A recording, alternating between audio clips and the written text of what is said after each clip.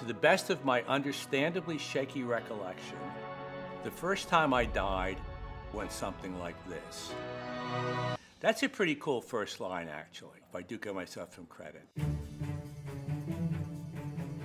What I'm going to try to do with the class is go right from the beginning, from ideas for books. Really terrific sports writer named Red Smith said, writing is easy. All you do is stare at a blank piece of paper until drops of blood form on your forehead. We'll deal with outlines. Outlines are huge, how to create a scene. Be careful of, oh, I got it figured out. I don't want to read anymore.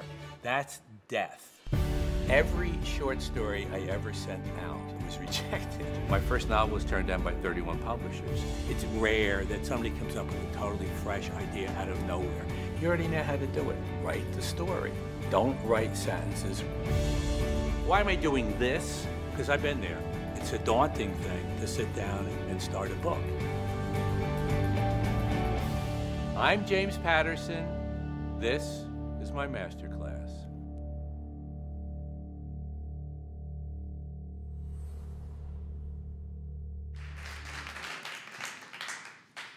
Thank you so much great. for joining us. It is pretty great, right? It is, yeah. You And- chills.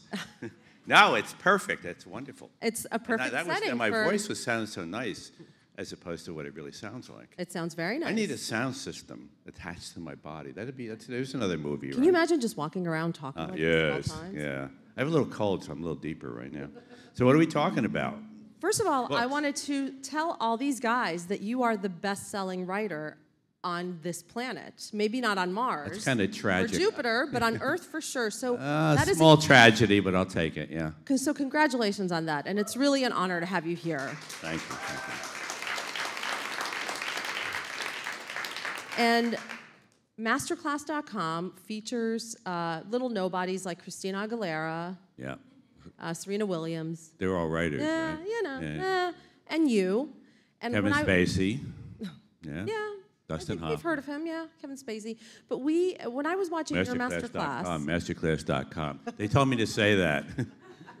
masterclass.com. But when I watched your masterclass.com, it really, I think I told you this backstage, inspired me to and stop To think talking about. to stop talking about writing a book and actually sit down and try to write a book. Good.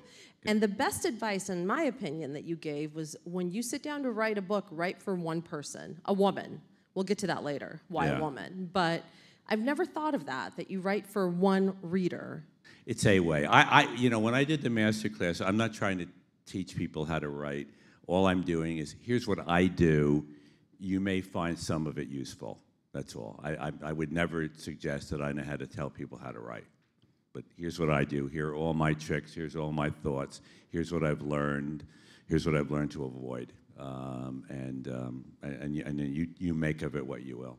And speaking of avoiding, what is the number one mistake that would be writers make? Um, I, well, I, um, you know, look, if, if you if you have to do it, you got to do it. I mean, there's there's just no getting around it. Um, In terms of you have to have the passion. If you have the yeah, passion, I mean, if you're at a certain point, you know, if you're you're just going to have to, you, you'll have to sit down and write it. So uh, you, you, that's not a learned thing, I don't think. Um, number one mistake, I don't know, something, something, that- something that they do all the time. Um, Probably something. I, well, I tell you, I, I, I think that the, the, the most important thing, not for every writer, but for most writers, is to do an outline first, and and and just and, and keep redoing it and redoing it. I will always do, you know, an outline, and it'll be four or five drafts. And if you read one of my outlines, you'll go, okay, I, I- you know, you, they're entertain, they're entertaining, and they're suspenseful, and you know, you wouldn't have to necessarily read the book. I could just sell the outlines. Yeah. Oh I could God, save a we lot of a new- time. we have a yeah. new business venture. Yeah, Outlinemasterclass.com. yeah. What is your writing process like? Do you go to an office every day, or or is it when it grips you? Um, somebody said you're lucky if you find something you love to do in life, and then it's a miracle if somebody will pay you to do it. So that's my gig. I don't work for a living. I play for a living. I write every day. I um, the last time I didn't write was my my son just graduated from high school, so I went to his graduation. I didn't write that day. That's rare for me. But I, you know, I mean, I guess some of it is, is just being compulsive, but for the most part, um, I, I just love to do it. I love telling stories. And how did you develop this curriculum? What I liked about this group right from the beginning was every time they talked to me, they were smart. All the plans were smart and organized.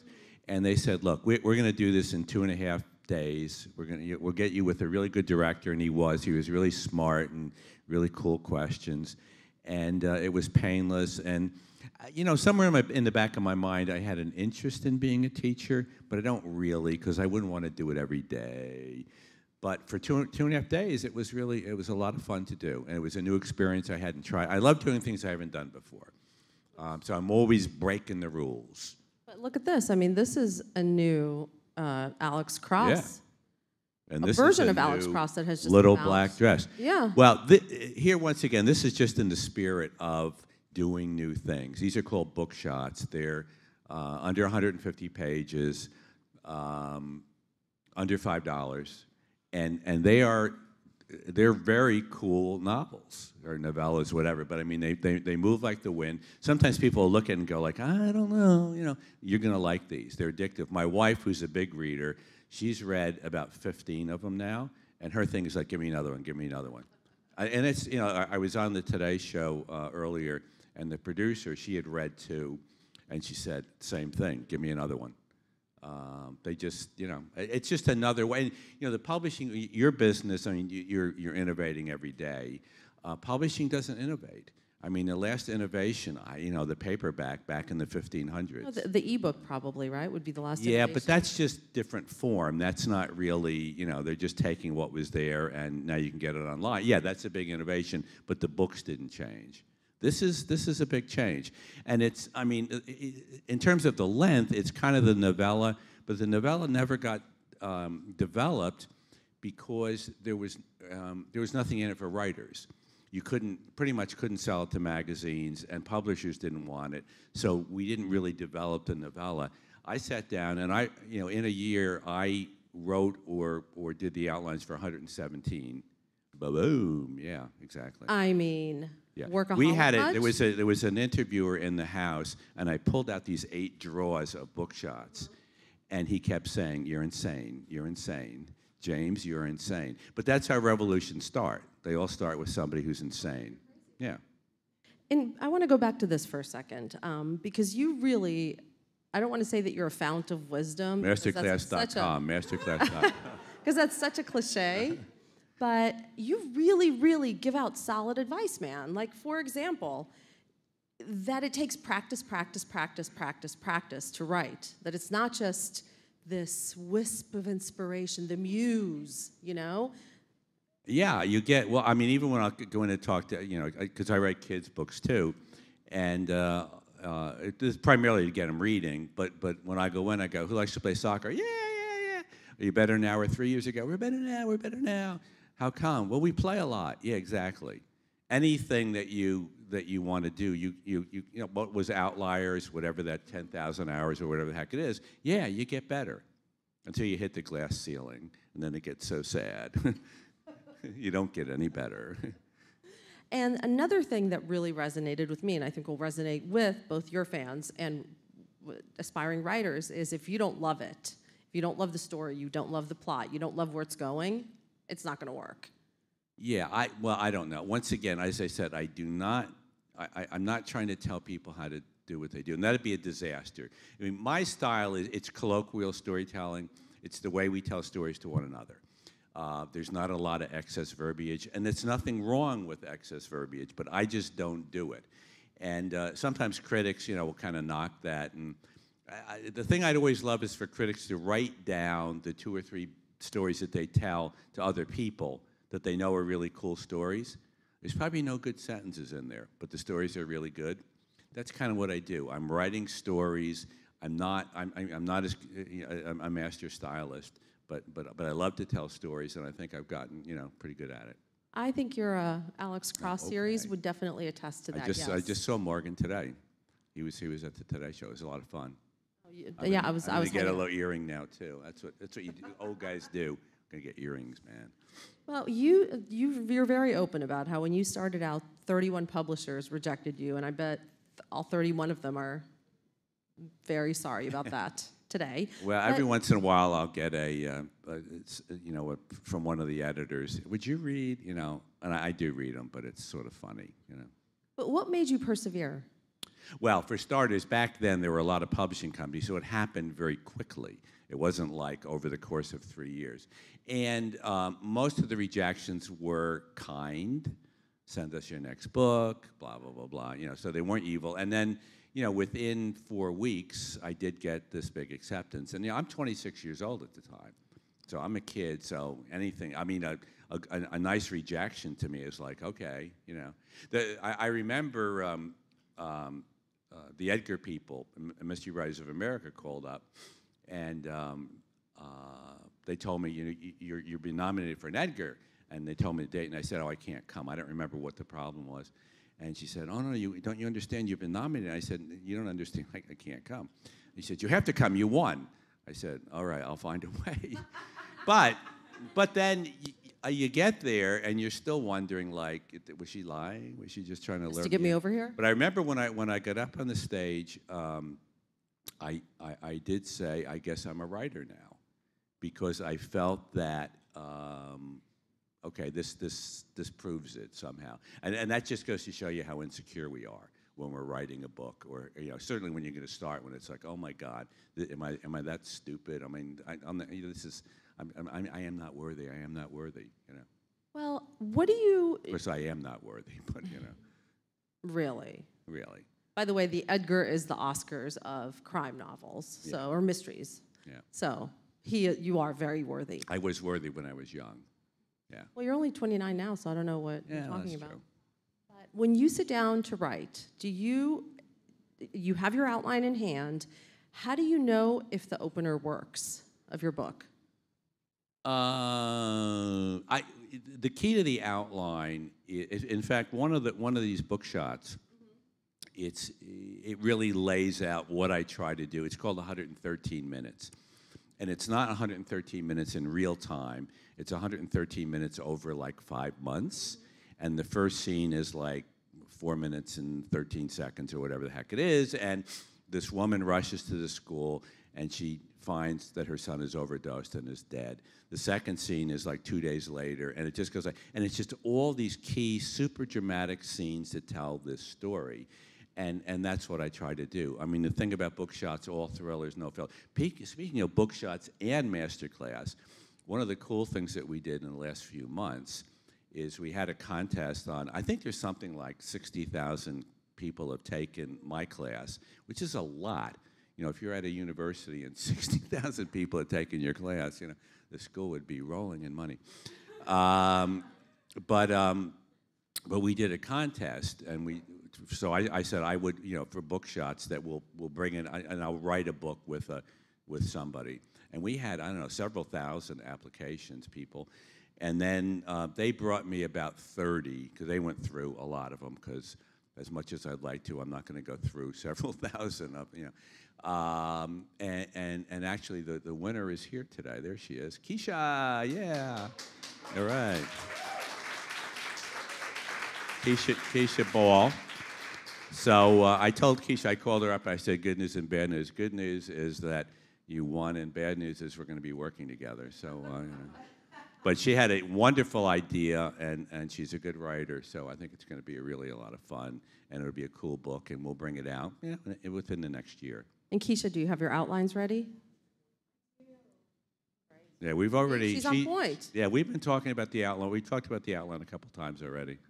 Now tell me why you think a female is your ideal reader when you when you're writing for someone in your head.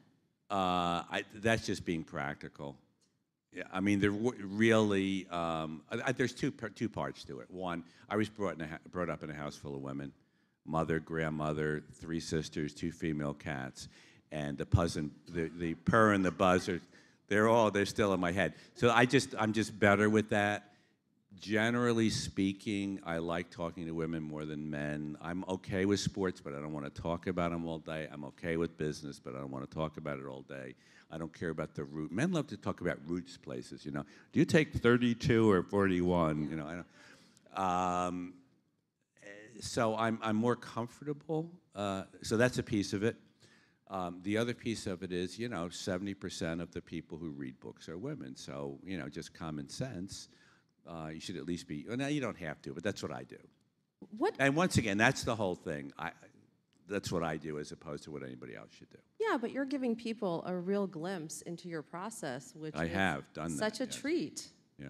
I mean, It's a, it's a fun class, I must say. I mean, it, it is, um, and and and the, the you know, unlike Trump uh, University, uh, one, it doesn't cost twenty eight thousand dollars, and um, uh, and and the responses of people is is really really really positive. You know. What is the one book that you go back to most often, either that you've written or someone else has written?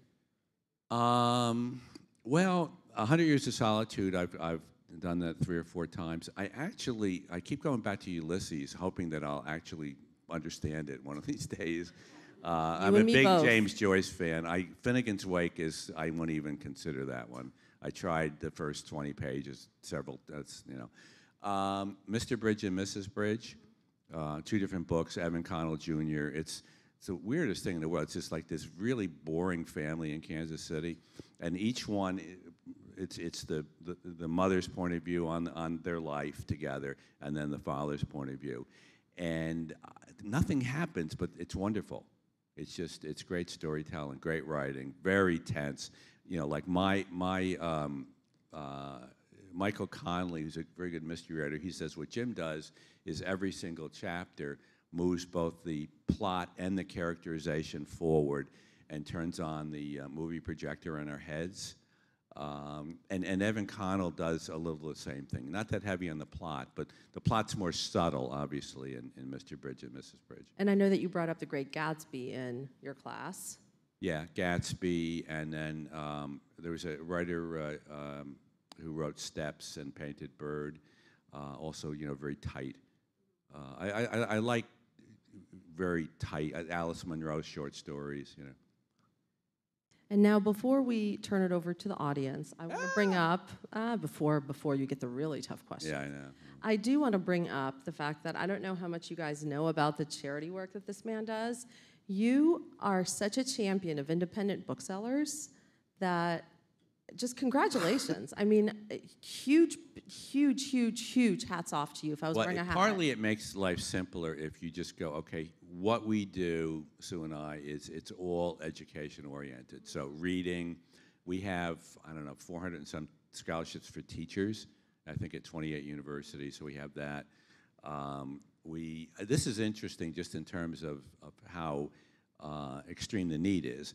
Last year and this year, we we're working with Scholastic, and we put out a lot of money. Um, and we said, you know, for school libraries, we got 28,000 pleas for help in 10 days. Um, and almost all of them are the same, saying we haven't been able to buy books in 10 years. Uh, we don't have, there's no librarian.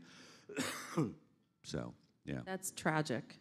I know, I know, I know, I know. It, and, and, and part of what, what I try to do is um, do things where we're going to help, but we're also going to draw attention to the problem, like independent bookstores, where everybody goes, Oh, I love our little store. Well, you got to go in it sometimes and buy a frickin' book. Instead of buying it discounted from Instead of just walking by yeah. it. Oh, I love to walk by that store. It's too bad it's closing down because nobody ever goes in there, you know.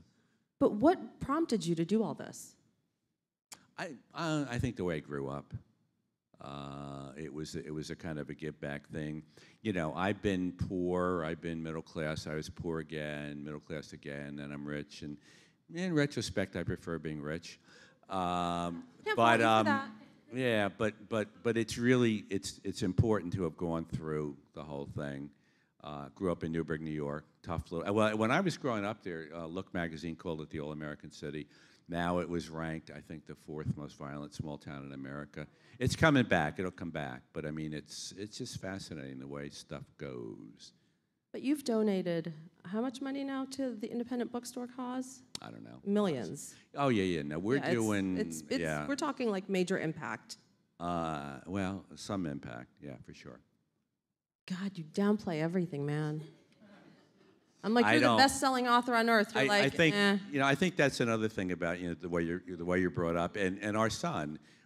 One of the things, and I think he's really doing well. He's 18 now, and you know he's like it's he's fine with the fact that I write best-selling novels, and he that's good. He's happy for me. He's happy that you know he get, I get him to buy him stuff occasionally, but he but he doesn't. It's like he he's, he doesn't have to pee on it, and he doesn't have to like you know. It's like it's good.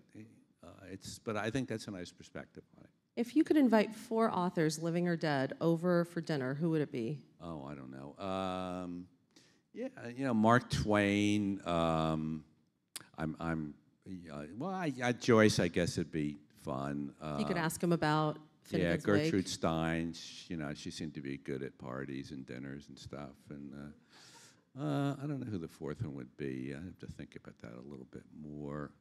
Come back to that. Yeah, yeah, yeah. And now, uh, our audience. Hey, James. It's so cool that you're here Hey, uh, and to hear you speak about everything. And I like what you said about practice. Do you think it's okay to take unpaid writing gigs to hone your skills? To what? To take writing jobs that are not paid to practice? I, think you just do what you, you do. I, I don't. I I've never really worried about stuff. I just kind of if it feels right, I'll I'll do it. So uh, I try not to get too hung up. I mean, for me, most stuff, it's the decisions are pretty easy. It's either a yay or a nay, and I you know. So if it feels okay, I, I just don't like sit there. Oh my God, just do it. I certainly, you know, earlier, you know, when I was a kid. I mean, I, I worked in advertising, you know, but I've been clean for over 20 years. And you were in a Trappist monastery. Yes, I, I spent uh, 12 days in a Trappist monastery. And that was a key thing for me. I mean, a little piece of it was um, eh, little drugs and stuff. And I just showed up at the Trappist monastery in, in Kentucky and um, then, and then let me stay. And at the end of 12 days, I just went, you know, I, I want to be a writer. I'm going to do this. I'm going to go at it full bore. And I've made up my mind, and I know what I have to do. And uh, no, we're not smoking pot or anything else anymore. For the, and for the most part, that's been, that, that I've held to that. Next question, please. Hey James, such Hey. an honor having you here. Uh, so when it comes to developing your characters for your uh, books, what Mm. was the process like for you? Well, as I, as I say in the masterclass at masterclass.com, um, I, um, outlines are really key. And the outline, i i i there's a couple of things. And, and going back to Connelly's quote, where every chapter develops both the, um, the, the, you know, the plot moves forward and the characterization. So uh, the, um, I, in fact, I was just on the way over here, and we're, we have a deal with I, yeah, CBS. I guess it's okay to say CBS. Um, so we're talking to them about a couple of the bookshot things, and and um, my partner who's out there, I said, look, I, I think there's two things we have to communicate about this one series that, that we have, which I think is a really interesting series. I said, one is what's different about the action of the series, and the other thing is what's different about this main character. What's really different about this main character? Um, and, I, and I think that's all, you know, like, and, and I'm not afraid to, like, you know, I, I don't write realism, obviously. So Alex Cross is too good to be true, but, you know, that's okay. I, I wanted to write a larger than life African American character, uh, and he's larger than life, and he was meant to be. Michael Bennett, I mean, who the hell has 10 kids? And, you know, but I like that. It was like, it's like a huge challenge. We're going to do it, and we're going to make it kind of believable. Uh, but that, that's one of the things that obviously would make him different. If he has to deal with 10 kids and go out there and be a New York City cop and, you know, da-da. Hi, James. Um, Hi. My sister and I, big fans.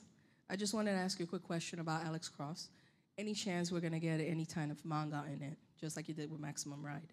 Any chance what? You're going to get it into the comic book form, like for manga? Uh, I haven't, haven't really thought about that. So uh, possible. Yeah, I, I don't. I don't um, you know, I think one of the tricks there is Paramount kind of owns it, so it's very limited. You know, at one point I wanted to get uh, the women's, you know, Lindsay Boxer involved with Alex, not romantically, but just, you know, and they went, you can do it, but we'll then own the Women's Murder Club. And I'm like, oh, really? um, so it's tricky. It's tricky, but maybe, maybe. Yeah. And last question, please. Hi, James. Hey, Uh, I'm a big fan of your work, and I think one of the things that I appreciate the most is the pacing and how you're just able to keep a story moving along uh, and keep it so engrossing. I was wondering what your process is like for that, and also how you decide what to cut. Well, go. uh, you know, Elmore Leonard, who's a really good mystery writer, um, somebody asked him, you know, when did he go from being not selling all that well to really, you know, best selling? And he said, when I started, um, I stopped writing the parts that people skim. And uh, there's just a lot of, uh, I mean, this is the key here. This is all thriller, no filler. It's just, you just cut out all the stuff that people don't particularly want, and you just have to be honest with yourself. Uh, and, um, uh, you know, I mean, when we, you, how do you tell stories? I mean, you learn to just cut it down to, uh, you know, the, the, the, the beginning, the middle, and the end, and, and, and, and tell the story very succinctly. So, so that's, that's kind of what I try to do. And then it's tough because sometimes you know you're, you're cutting chapters. You go, oh, I kind of like that. Yeah, but it didn't really didn't really move the story very well. Or ooh, that paragraph was yeah, but it you know really kind of slowed everything down. You know, I have one writer that I work with. He's very funny, and uh, but he would put this funny shit in the middle of like some really tragic, emotional, and you go like, no, dude. I mean, this is like it's not work. It's funny, but I mean, it doesn't fit in that scene. You know, so. And back to our last question. The fourth writer that you would invite Master, oh, to Yeah. the master class. Master, uh, yeah, David Rozier.